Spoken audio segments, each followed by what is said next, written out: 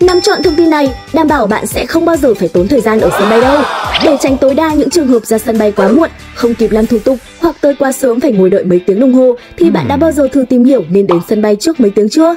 Đối với các chuyến bay nội địa, các bạn cần nắm rõ quy định về thời gian check-in tại sân bay nội địa như sau. Thời gian mở quầy trước giờ khởi hành dự kiến ít nhất từ 2 tiếng. Thời gian đóng quầy trước giờ khởi hành dự kiến khoảng 40 phút. Thời gian đóng cửa máy bay trước giờ khởi hành khoảng 15 phút.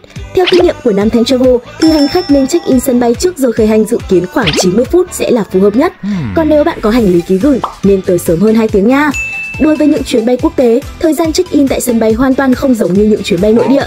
Thời gian mở quầy trước giờ khởi hành dự kiến 3 tiếng, thời gian đóng quầy trước giờ khởi hành dự kiến 50 phút, thời gian đóng cửa máy bay trước giờ khởi hành khoảng 15 phút.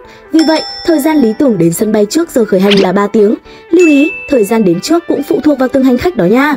Nếu bạn là khách hạng thương gia, đi một mình hay thuộc đối tượng ưu tiên không phải xếp hàng, bạn không cần tới quá sớm đâu. Nhưng nếu đi cùng gia đình, nhóm bạn hay có con nhỏ, người già, bạn nên đến sớm hơn. Nam Thanh Travel tin chắc rằng